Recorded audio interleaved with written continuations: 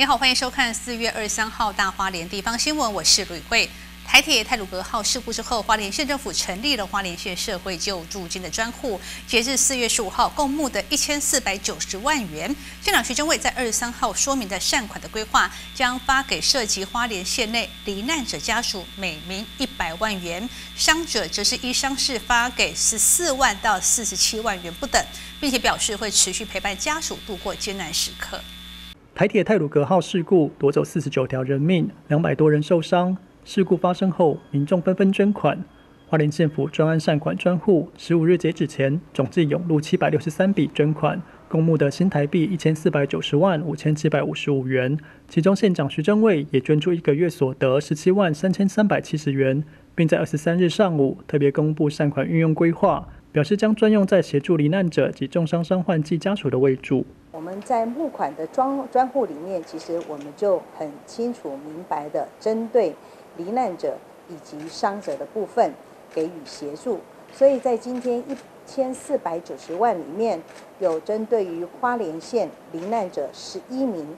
一位给予一百万。另外，对于我们的这个伤减分级的部分，一二级重伤的部分有两名，啊，每一名是四十七万，而这个三四级中伤的部分有十五名，每一位是十四万；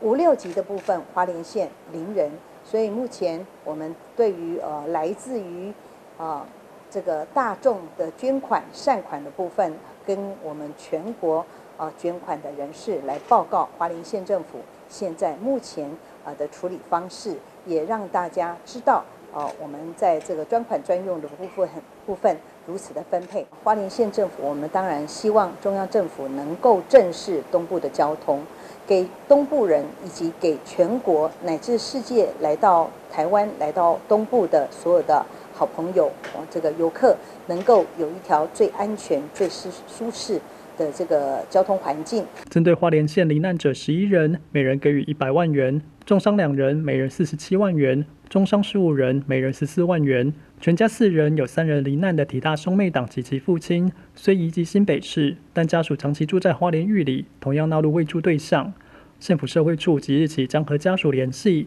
逐一将慰问金送达罹难者家属、伤者手中。县府也会协助持续关心家属。记者蒋邦彦花莲市报道。